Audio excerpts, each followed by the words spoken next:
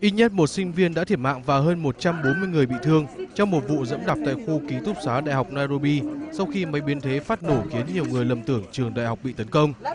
Các nguồn tin cho hay, máy biến thế phát nổ vào lúc 4 giờ 30 phút sáng 12 tháng 4 theo giờ địa phương, tức khoảng 8 giờ 30 theo giờ Việt Nam khi sinh viên đang ngủ.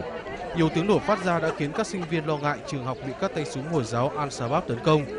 Cảnh tượng hỗn loạn xảy ra khi các sinh viên chen lấn nhau, cố gắng thoát ra ngoài và nhiều người mạo hiểm nhảy qua cửa sổ phòng ngủ từ tầng cao xuống đất.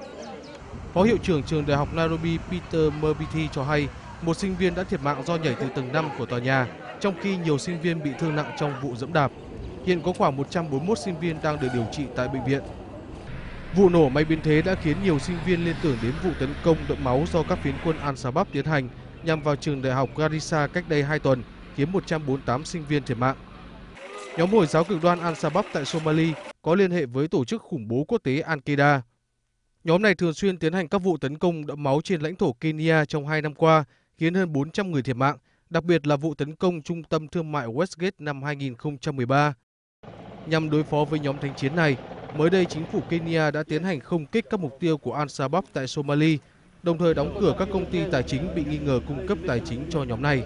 Bên cạnh đó, chính phủ Kenya cũng kêu gọi cao ủy Liên Hợp Quốc về người tị nạn nhanh chóng đưa hàng trăm nghìn người Somali đang lánh nạn tại trại tị nạn Dadaab, đông bắc Kenya về nước.